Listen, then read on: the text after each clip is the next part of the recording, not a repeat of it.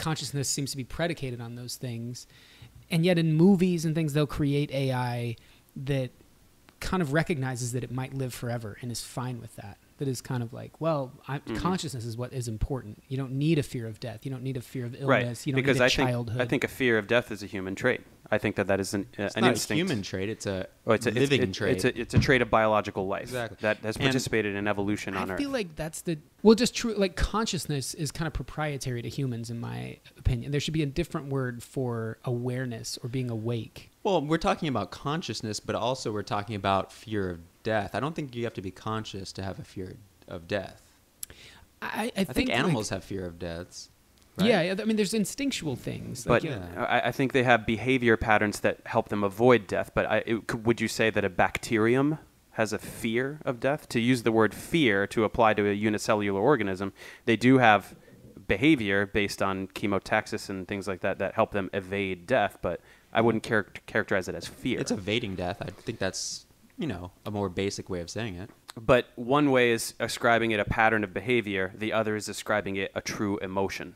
And I Well, think those are very mm-hmm. different things. Maybe let's just go to the basic level and say it's going to avoid death.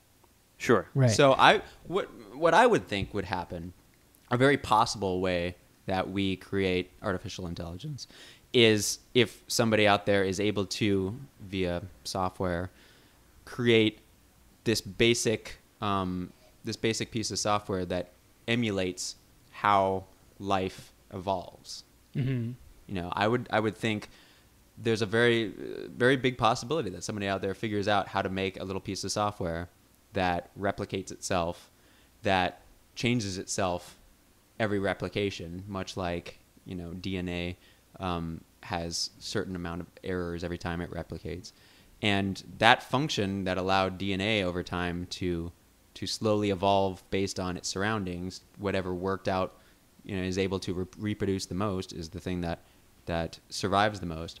I think that is a basic pro- uh, process of the universe. Basically, whatever Mhm. is able to survive and replicate the most is what's going to survive. And Natural um, selection natural applied selection. to Exactly. I programming. think if someone created a program that can replicate, you know, like a like a computer virus type thing, but is able to change itself in a random way, and something most of the changes make it not work anymore, but some changes might actually help it to evade, you know, virus protection or something like that. Hmm.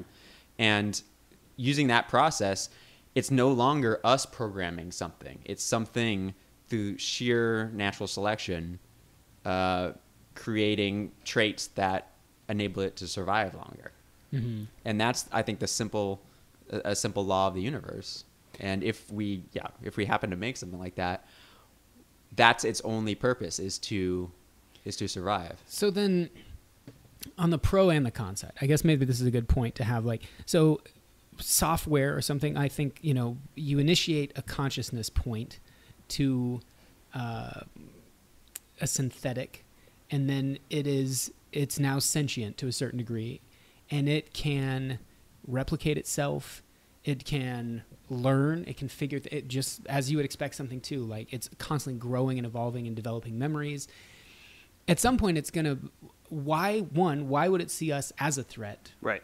and two why do we always assume that it's going to destroy us or is that our natural Well, primitive human There's no need for an uprising if we are not causing them any suffering, right? My- the worst case scenario is they go, "Oh yeah, humans. All right, we're going to do our own thing, right? Mhm. you guys are you guys are fine." Well, my answer to that right there is why would we consider another country to be a threat? Mhm. They're humans. Why would we ever be afraid of them? yeah Well, because- and that's because they have free will. They can do whatever they want, and sometimes that's scary. You know, But you we look know at, what humans are, and we know what humans can do, right? but Yeah, but- ideologies i mean robots with a ve- we always picture them as being very binary it's it's th- it's very easy to make decisions because it's yes or no Mhm. and if they see like oh this is how planet earth should be no matter what we code into them if they're able to objectively look at the planet and go they should not be here then would they I mean, guess my that- question is, what could possibly drive them to make that conclusion? I wonder. Our violence toward one another i mean eh, you know Mhm. our, our littering our just destruction of the planet i think robots could look at that and be like oh they, we, we should pen them up I think they'll just solve all our problems for us instead. well, I think I think this whole discussion uh, revolves around like how did we program them to get that way? Because I think you guys are viewing it as if like we decided to sit down and create something to create a robot with you know consciousness. We're like, here we- we're gonna let we're gonna give you all these, you know, the intellect, Mhm. the ability to to think for yourself. Um, but did we set it free to think whatever it wants? But above a certain it above a certain level of computing power, which is greater than the computing power of the brain, or even billions of times greater, it's going to have some sort of consciousness. right? did we program in restrictions to that? I guess that's my that's my question. I think Mhm. that's something we might want to think of moving forwards. I think I think wasn't that what Elon Musk was talking about? Like maybe we should we should get together and sort of figure out a couple, you know, like a a, a plan for the rules well, of I mean, robotics, to, like yeah. to Asimov. address, yeah, like Asimov's thing, or like Yeah. you know, to go back to what you were saying, the threat to us uh, that people are, are worried about, or like not necessarily as another country or just a different entity, but is the jobs. Like you talked about, Ryan. Like if they take away all manufacturing jobs and then all bagging jobs and then cleaning jobs and virtually uh, the thing that keeps our worldwide our infrastructure kind of intact all of those jobs are gone people are gonna there will be an uprising. There'll be violence toward